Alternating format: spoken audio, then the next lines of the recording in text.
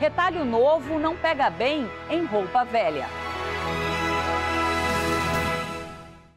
Todo dia tem boa notícia na Rede Vida. Especialista ensina a não pregar retalho novo em roupa velha. A metáfora usada no Evangelho de Marcos convida a entender o significado do novo tempo e acolher a conversão com alegria. É preciso mudar de mentalidade, superar preconceitos e manias, assimilar um novo comportamento. O remendo de pano novo em roupa velha rasga, porque o pano novo, ao ser lavado, encolhe. A boa nova do Evangelho quer nova atitude, que expande ao invés de diminuir, aquece ao invés de excluir. Papa Francisco observou que, mesmo nos terrenos mais áridos, com Deus há sempre esperança.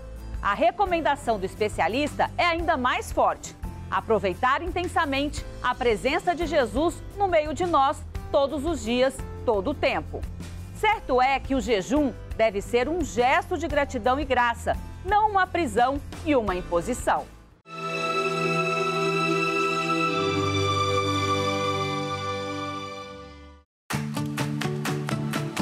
A dica do dia é do pensador francês Voltaire. Se os cultos são diferentes, por toda parte a moral é a mesma.